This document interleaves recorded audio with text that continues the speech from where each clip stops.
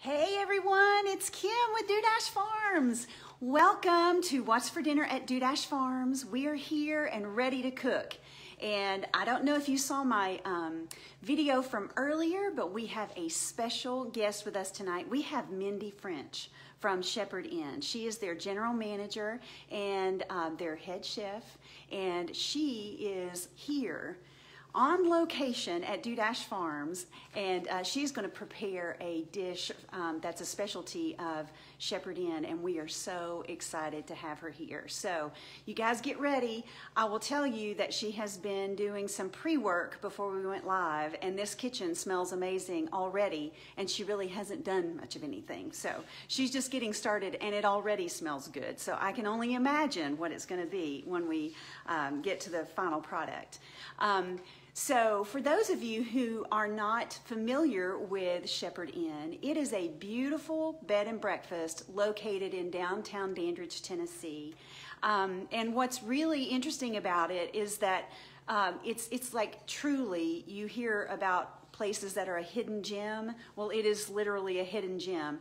I have lived in this area most of my entire life and did not even had never even stepped foot in Shepard Inn. And um, this last Christmas in December, of course, Christmas is in December, but at Christmas, the uh, Dandridge Farmers Market vendors, we all got together and had a meal together to celebrate the great year we had last year, and we chose to do it at Shepard Inn.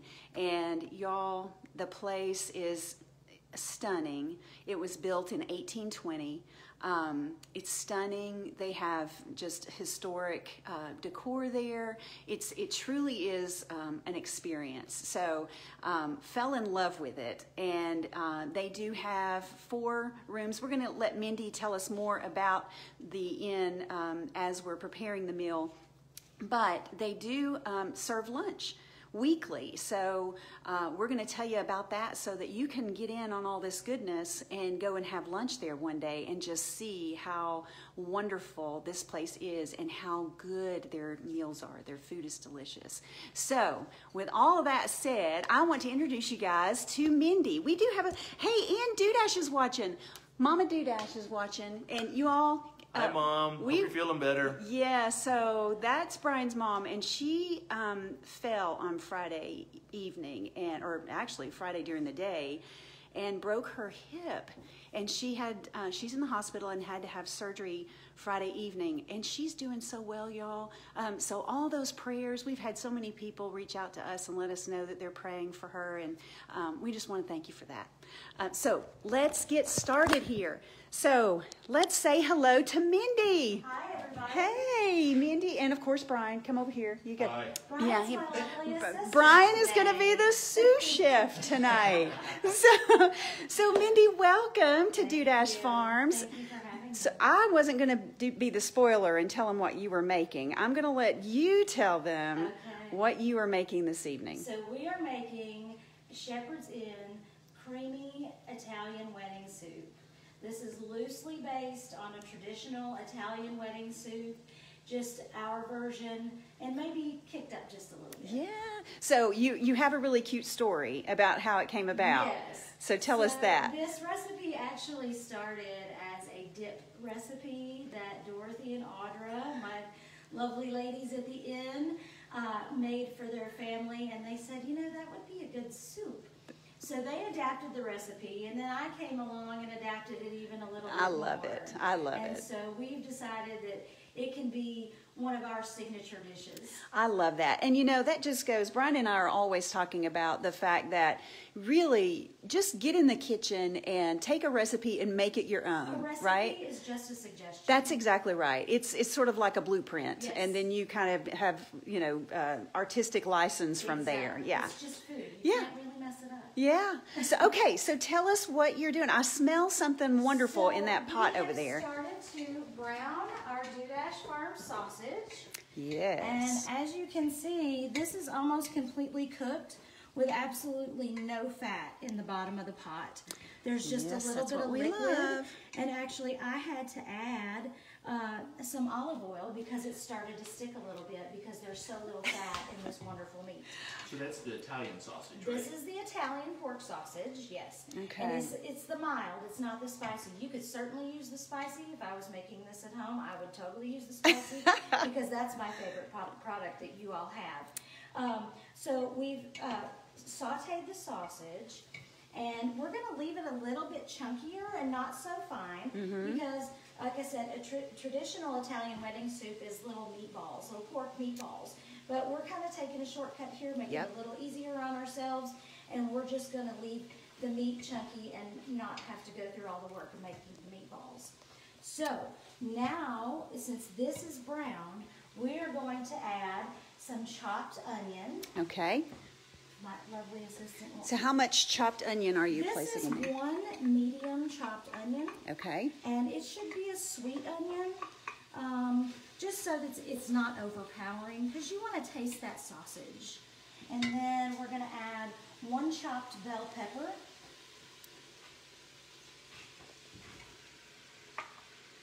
All right. And we're just going to saute that for a little while. that looks so pretty. Looks I thought wonderful. that was a tomato.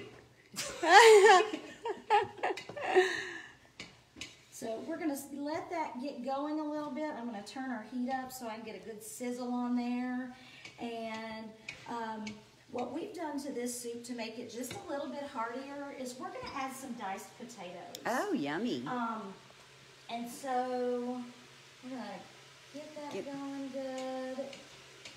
Don't let us rush you. You just take, you do it in your own time. We just want to get a little bit of a sear on those vegetables Yeah. because we like that little bit of brown in the bottom of our pot. That little bit of brown equals flavor, and we're going to mm-hmm. deglaze this pan with white wine. So we want as much flavor as we can possibly get in there. So I had a comment that says, uh, "Bring your phone closer to her, to her, please." So let me know if you got if this is working, if I'm close enough, if you can hear her. Do I need Um, to talk louder? I don't know. Y'all give me some feedback. We need to know. And then Angela Madden says, Dudash Farms pork products are the best. Thank you, Angela. Um, well, we're kind of partial to them too, aren't we, Brian? so, um, so for those of you who may have just started, um, who've just joined us, we have Mindy French from Shepard Inn, and she is um, preparing um, Shepard Inn creamy Italian wedding soup. So this is their version. And Elizabeth McCacken, thank you. She says we can hear her great. Okay. Um, so we, um, she's here making her signature soup, and we talked in the beginning about how um, it real, you know, a recipe is just a suggestion, and they've sort of adapted this um, Italian wedding soup uh, to be their very own, and it has evolved over time. But very important to talk about. Well, what are you what are you doing next I'm before I add some chopped garlic. This Got it. About two cloves um, of minced garlic. It might be a little bit more because I like garlic. Gotcha. Oh yeah. We do too. We do too. I guess that's a prerequisite for cooking at Dudash Farms. You have to like garlic. Well, I'm part Italian, so I have to like it. It's in my blood. I'm not, but I fake it. so she, what she has in there now is some uh, Dudash Farms um, Italian sausage, and she's got uh, a medium-sized um, egg. Onion. Uh, onion, Lord. Medium-sized onion. Y'all have to bear with me. Th- th- This is not as easy as it looks. Um, and a bell pepper, uh, red bell pepper, and it was absolutely gorgeous. And she has added about two cloves of minced garlic. And now, Now we're gonna deglaze our pan with some white wine, dry white wine. Awesome. I think I've got, it's probably a um, Pinot Grigio, whatever Yep. you would drink, that's what you want to use. There you go. And that's about a half a cup. That was a half a cup exactly. Okay. And what we're gonna do is we're gonna bring this to where we can see it boil, and it's so steamy now, you probably can't, but it is boiling. And so what that's gonna do is take off all of that good flavor on the bottom of that pan. And we're gonna cook it down just a little bit to let the alcohol go out of it. Um, and then we're gonna add our potatoes and we're gonna add chicken broth just enough to cover. Perfect. So And y'all, we have a little um, a secret to share with you guys. So Mindy will tell us more about serving lunch at um, Shepard Inn weekly on Thursdays. But this is what you're having on Thursday. This is what we're having on Thursday, and we're having it alongside a huge slab of pillowy uh, Parmesan herb focaccia bread, and it's homemade. Yum. And so, Yum. um, and we're al- we also serve dessert. Yep. So, um, So what are you having for dessert on? we are going to make a monster cookie with a scoop of vanilla ice cream. Oh, and yummy. probably some chocolate drizzle on top of that. That sounds really good. That is about what I got at the store were the little tiny potatoes that you can get, the little tiny new potatoes, and I've quartered them. That was probably just about a dozen Okay. of those. Okay. And so now you're going to add your chicken broth, and you're going to cook until those potatoes are nice and tender. Got it. And as you can see, if you can see in the pot now that we've cleared all the steam, that's just about enough to cover. Yeah. Because there's going to be another ingredient that we're going to add to make this nice and creamy. Yeah. Yum. So now that just has to cook for a little bit. So Linda Morris says, Mindy, you're awesome. So just so you know that. I love my Linda I know, we do too. We love Linda. Morris is my favorite. She is awesome. Um, and Shepard Inn, thank you guys. They have posted and said we are excited to make and serve this Thursday at Shepard Inn. Yes, so thank you for reiterating that. So now that we're at a place where we can kind of I can step away from can the step pots. away from the pot a minute. tell us, um, tell us a little bit about Shepard Inn and about you and what you do there, and just anything else you would like for us to know Okay. about. the Well, Shepard Inn originally started in 1820 as a one-story log cabin, and through the years, different people have owned it, and they have made it into what it is today. Yes. Um, they've made it into this nice big inn, and we offer uh, four rooms that uh, can accommodate people, uh, overnight stays. We typically try to do two night stays, but we try to accommodate everyone Sure, as well. You can sure. do more than two nights. You can do less than two nights. Um, and and it's a beautifully decorated old inn for the period. Uh, we try to stay as true to period as we can. And when you come there, you're not just coming to visit, you're coming to experience the inn. Um, it's just a beautiful old home that we feel like we have um, put our heart and soul into, and we want you to come there and feel like family. Yeah. But we also serve lunch on Thursdays, and we have three different seatings uh, right now because we are trying to be sensitive to the COVID situation and social distancing. And so we can serve so many people at each seating. Those seatings are at 11 o'clock, 12 o'clock, and 1 o'clock, and they are by reservation only. And so if you're on Facebook and you can navigate Facebook well, our phone number is on that Facebook page, and you just call for a reservation. Got it. we typically try not to do reservations through the Facebook page just because there's two of us that handle that, and we also administrate other pages as well. Yeah. So uh, typically, phone calls are the best way to reach us. Um, but we also do and cater special events. We have bridal showers and weddings at our at our um, facility, um, and we love to customize people's special events. Yeah. we absolutely that's that's what we live for. Yeah, we love the hospitality aspect of it, and we love being able to make your experience personalized so that you feel like you have been taken care of. That's awesome. Angie Vidito says the first time I was in Shepard's Inn, it was at our farmers market meal, and it is so beautiful. I can only imagine what it was like back in the day, and and that's right. And when you walk in, Mindy, I mean that's exactly how you That's feel. the experience Yeah, you feel like you're walking back into the day, like Yes. Angie says. So tell us a little bit about. You were telling Brian and I earlier about how many people uh, we we know of historic figures who have stayed there and why they chose Shepard Inn. So tell us a little bit about so that. each of our each of our guest rooms is named after uh, someone who has stayed at the inn. We actually have records uh, dating back to um, presidents that have stayed at our inn. Um, one of our rooms is the Andrew Johnson room. That is actually our king room. Um, it's a beautiful blue and white room, and, and we have record that that uh, Andrew Johnson has stayed at that inn, um, or what we would suppose that he would stay at that inn. And, and our location being a central location between Nashville and and further east. Um, it makes sense that they would stop off Sure, there. sure. Um, one of our rooms is Andrew Jackson as well. Mm-hmm. Um, and then we also have the James K. Polk room. Okay. And so uh, he, he was he has been said to stay there as well. Yeah.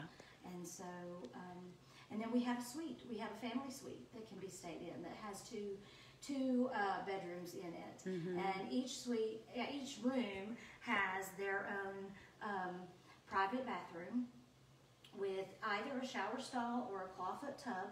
One of the clawfoot tubs being actually original to the Oh, wow. that has been restored. Wow. Yeah. So Angie says, I wonder if it's haunted. uh, I will tell you, I have not experienced any of the said spirits that have been there, but I have been told that there there might be. A couple. yeah. Oh, wow. But uh, that is not not something that I've experienced. That's something we don't know for sure, Angie. So, but that's a good question. But ask if you see Audra Watkins out somewhere. Ask her about Uncle Carl. Okay, so Angie, did you hear that? Ask uh, Audra about Uncle Carl. Okay. This is about. Um, Brian, how are those notes? I can't remember when I it'd be helpful if I. All right, so Mindy is um, letting this cook down. You I can am. see it looks delicious, smells delicious. back up just a little bit. Okay, yeah. Show them a trick. Absolutely. We're gonna actually thicken and make this soup creamy with cream cheese. Oh wow. But sometimes it's not easy to get cream cheese to melt even in um, a hot broth like this. So what I've done here on the stove already is to heat some broth. Okay. Um, the same chicken broth that we have used in the soup, and I've splashed it everywhere. Sorry. That's okay. Hope your camera lens is good. um, and what we're going to do is just whisk it into the broth. What this will do is be able to um, incorporate it into our soup much, much easier. Got it. And this That's a great I mean, little trick. you- yeah, it's a great trick, and you could do, I mean, a basic white sauce to thicken this soup, but this is so much easier um, that I tend to use this trick a lot because, well, and it's cream cheese. Oh, yeah. it's tasty too. Yeah, garlic and cream cheese. Yeah. Got me. So, All right. So while she's doing that, just if you have just started joining us, um, welcome. First things first, right? And Mindy French is here. She is the uh, general manager and head chef at Shepard Inn in downtown down, downtown Dandridge. It's a beautiful historic bed and breakfast, and she is here uh, preparing for us the Shepard Inn Creamy Italian Wedding Soup that they are going to be serving this Thursday. Um, you guys can go to their um, Facebook page. First things first, you got to follow them, or you need to. We, we would encourage you to follow them because you're going to love just seeing the what they um, share with us on social media. But you can get the phone number there, and you can. Um, call and make a reservation. But let me tell you guys something. Mindy's telling us that their reservations get filled up quickly. So if you're going to call, you better call tomorrow if you're going to go this week. Um, let's see. Shane Finley. I hope that I'm saying that right. Or Farley, you should get her to sing while she is in the kitchen. Mindy French is an amazing choir leader. Here we go. Thanks, yeah. Shane, for that. Shane, she's blushing. I'll just have to tell you. drummer at church. Ah, she's blushing. All right, so that looks like that looks like we're nice and incorporated. So I can see that our potatoes have soaked up some of our broth. yeah. And they're looking good, and we're gonna pour this in. And that is gonna thicken our soup and make it nice. That's that's where the creamy comes That's in. That's where the creamy comes in. And if this soup at first didn't have potatoes in it, we added some potatoes just to make it a little heartier. oh yeah. Um, just to, you know. Yeah, the a traditional bit one has a bowl. pasta. It does have a pasta. So this is and in so lieu of this the is our starch. Yeah. Yes. And so now we are going to add What about your beans? And actually, I need to move over here to chop this spinach Oh, yeah. a little bit. Gotcha. I like for the spinach to be chopped just a little bit, so you're not getting those big stringy pieces. Yeah. And you know, we talked about this too, Mindy, um, when you first arrived, that a lot of people don't think about soup being an actual meal. Right. Um, but you guys, I mean, to, to, This is a really this is a hearty soup. hearty, hearty soup. So I love a good hearty soup. Especially served with a honking piece of bread. Right, right. uh, what was it? Parmesan focaccia bread? Parmesan herb focaccia bread. Yeah. Yes. And it'll be huge and pillowy and delicious. Yum. So Mindy is chopping up this um, spinach Just here. run your knife through it real coarsely. Just makes it a little easier to eat and get on, get on your spoon. Yeah. So now we're gonna add that to the pot. And basically, all we're doing is wilting this spinach down. That's really all we want. It doesn't need to be mushy, it doesn't need to be cooked through, it just needs to be melted down. Now we're also going to add um, some cannellini beans, some Bush's cannellini Bush beans. cannellini beans. We love bush beans. We that's what we use all the time here. You're just gonna give it a good stir to get that spinach down in that hot broth so that it wilts for us. Boy, it smells good. It does. Angie said, I was gonna say that Brian was being too quiet, and then I heard him. I know Angie. He We're makes keeping he makes me do all of this. He won't he, he won't do it. he he says I have the big mouth in the family, so. Hmm. Elizabeth McCacken, we have soup meals all the time up here in Boston. This will be added to my recipes. Thank you for the use. Thank you for the use of spinach. Yes, Elizabeth. Kale would be delicious. Oh, okay, kale. So I'm not much of a kale fan unless it is. I don't like the the texture of it very much. But Even in in this, I think in I never really thought about it. But in soup, it would probably be. Yeah, I could probably use it there. Um, so yeah, Elizabeth, I'm sure you do use a lot of soup recipes in Boston. but I'm glad that we're giving you some ideas of something you can add to your um, recipe list repertoire, right? So this is getting good and wilted. We are going to add some fresh thyme now. Okay. And the recipe calls for it to be chopped. I didn't chop it. I don't mind those cute little leaves in there, and it just adds a little bit more green. And so, really, it's it's probably only about a teaspoon and a half. Thyme can be a little overpowering, um, but it's going to give the soup really good flavor. Audra Watkins. Mindy is awesome and such a blessing. Yeah, I mean, we think so too, Audra. You guys are making my head big. I know her head's going to get so I'm big, I won't gonna be be able able to to put her on the it on the phone here. no. Well, you know what? When people recognize someone that's talented, they should they should say so. And so, look at this gang. Got some black pepper to add to this. Yes, Thank you. Thank you, sous chef. that's Chef. Mr. Mr. Sous Chef. Perfect.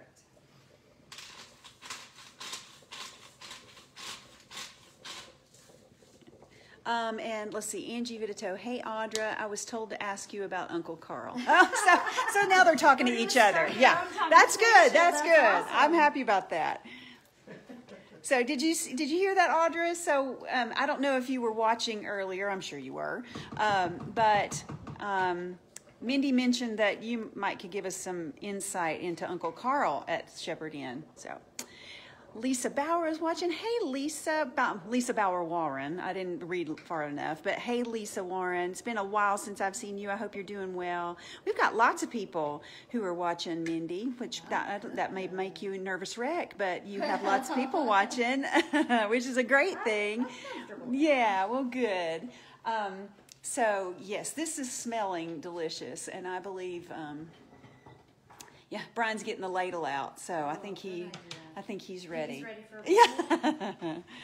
Is there anything else, Mindy, that you want to share with us about um, Thursdays or?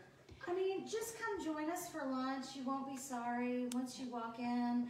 Uh, we have several different seating areas. Just because you make a reservation doesn't guarantee that you'll be seated in our main dining room. We also have a smaller dining room and a sunroom um, And it's that we wonderful. people in, and it's beautiful this time of year, especially when the sun is out. Yes. Um, like I said, we are filling up kind of quickly, so make sure to get your reservation in. Um, our April menu will probably be posted next week. The March menu is up on our Facebook page and on our Mm-hmm. website. You can also follow us on Instagram. Gotcha. um, because we do have an Instagram page. Um, and so, you know, we want you to come in, we want you to experience the beautiful house, we want you to experience the good food that we're making and that we're serving and the personalized experience that you'll get there. Um, but we want you to leave feeling like family. Yeah. And so that you'll come back and see us. Yeah. again. Yes. Wonderful. So this is looking great. I'm gonna turn this off. Okay. Um, uh, that was homemade chicken broth, so I'm not worried that this needs to simmer very long at all. If you use the store-bought chicken broth, which is totally acceptable, I use it too. Um, just make sure to get the low sodium kind and just simmer it a little bit longer so that you get more of the flavor of that Yeah. sausage coming out into that broth. And basically, what we're going to do is add about uh, three quarters of a cup of grated Parmesan cheese. Shaved Parmesan cheese would be beautiful on top of this. In fact, that's probably what we're gonna serve on top of it on, um, On Thursday. Thursday of this week. And that'll also help thicken it up a little bit too. And then just let it sit on the stove for a little bit before you serve it. But I think we're gonna serve it up for you guys so that you can kind of feel kind of what it looks like in the bowl. Doesn't that look great, gang? Um, Edna Costner, she says ate lunch there last month and it was so good. So yeah, um, thanks for letting us know that. Uh, Brian and I have been there and we absolutely love it. And um, they they do use um, Dudash Farms product from time to time, so we appreciate you guys and, And we'll your be business. using Dudash Farm uh, mild Italian sausage this Thursday too. Yum. Brian's already delivered it to So us. So there we go. So, um, and just in case you didn't hear Mindy or uh, didn't catch it, um, you can follow them on Facebook or Instagram. Uh, they post their monthly uh, menus ahead of time. So be on the lookout for their menu for April. Um, she said it will be coming up pretty soon. Um, so, and you can go on there now and see what they're going to have this week and the remaining weeks of March. So make sure you get on there and check that out and call them quickly if you want to s- schedule lunch because um, they're filling up really fast. That's how good it is. Angie Vidito says, I bet that would be good with chunks of chicken. Sure. Yeah, it would be, you know. All soups are adaptable. That's exactly right. Uh, you can make it whatever you want to make it. Um, like we were saying earlier, a recipe is really just sort of a, It's a uh, yeah, it's just a suggestion. um, oh, and Angie says they also use corn from Martin Farm when it's in season. we still have some in the freezer. There you go, Angie. using up. Yes. Okay, so there we go. Um, So, yeah, so the Shepard Inn does come through the Dandridge Farmers Market every Every- Saturday. That's- Every time we can. That's right. So Absolutely. That's So we see Jim there quite often. yeah. Well, and that's important to us, and Jim as well. It's very important to us that we use as close to local and product it, as we can. Yeah. Uh, because it's small business supporting small business. Yeah. And that's always important. It is. It really is, and we appreciate that very much. So Um, you know what's on the menu for next week? I do know what's on the menu for next Do, week. do you want to share or do you want to leave them in suspense? Um, I'm not remembering what the dessert is, but I know the main course is a bacon wrapped chicken uh, with Italian style macaroni and mm. cheese, and I don't remember what else. So did you I hear that, made gang? for the next several months, and they're all in all in your head too and it's probably No, all of that's in your written head. That's why I yeah the paper in front exactly But that's the main. gotcha thing. so bacon wrapped chicken with what was the type of Italian uh, macaroni with and italian cheese. macaroni and cheese so that's on the tap for that would be what the 25th Yep. okay so if you can't get in there this week You can get in there next week if you call and make a reservation. Um, Angie Vidito says, I had to get an advertisement in on the Dudash video. Angie, we will advertise for you. Um, and with that said, y'all, the Dandridge Farmers Market is coming up uh, right around the corner. So we will start, it's actually the first Saturday in May, which will be May the 2nd, I believe. So, um, starting May the 2nd, every Saturday until mid October. So be on the lookout for that. And if you don't follow the Dandridge Farmers Market page, you should because we're going to start doing some um, posts and hopefully, if everyone will agree with me, do some live video of what they are going to be. Um, sharing at the market this year, selling at the market. I know, so we're looking forward to that. Um, all right, so Mindy, I believe, is going to ready for me to. serve us up some soup.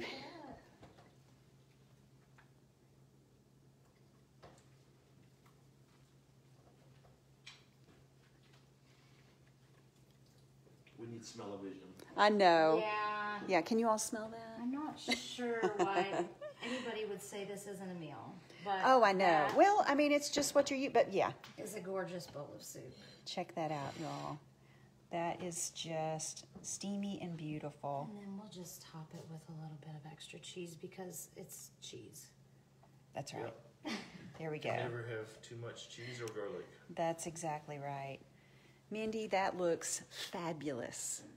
Fabulous, you guys. Um, you know, give give uh, Mindy some love. Give us a thumbs up if you uh, like what you see. And better than that, make sure you go uh, find their page on Facebook. Uh, I tried to tag it in our intro, so just click on it, follow it, and um, look for her. Um, menus all right? And you know what? If you are if you are not in this area and you want to come and visit us in this area sometime you need to stay at Shepard Inn. Give them a try. Um, so reach out to them and make a reservation. Stay overnight. Um, so I, I cook you breakfast in the morning. they, there you go. So that's something that we need to, to know. Yeah. We actually uh, get breakfast. Uh, we offer a breakfast that's cooked in-house. Um, but we're also starting to offer meals. So if you're staying more than one night and you don't want to leave the inn, but you want a nice meal, um, we can accommodate you for that. there you go Definitely. That's awesome. It's a one-stop shop, y'all. So if you've got an anniversary to, if you are celebrating your anniversary and you want to go somewhere that is just, just quaint and beautiful and a place where you can make some memories, contact Shepard Inn. Make that your place.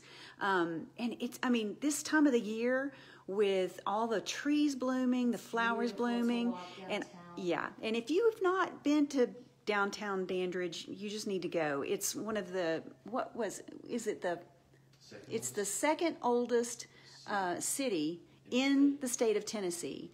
Um, and, and it is an operating and uh, uh, functional uh, downtown. So you know a lot of these old cities they they're not functional any longer, but Dandridge is, and it's absolutely beautiful. So um, yes, and Carolyn Clark says yes, want to stay there. Carolyn, I I know you, and this is a place you want to stay overnight. This is this is the place. So you definitely need to check them out. Um, she loves that kind of thing. So Mindy, anything else you want to say before we go? We've covered. Covered everything. I know uh, Brian's over here salivating. I think I need to let him eat his soup before before it gets cold. So let's eat. Let's eat. So there we go, gang. Y'all, thanks again for watching uh, us and hanging out with us for dinner. Uh, Mindy did a great job. Y'all give her some love, and uh, we'll see you next week. Thanks. Bye.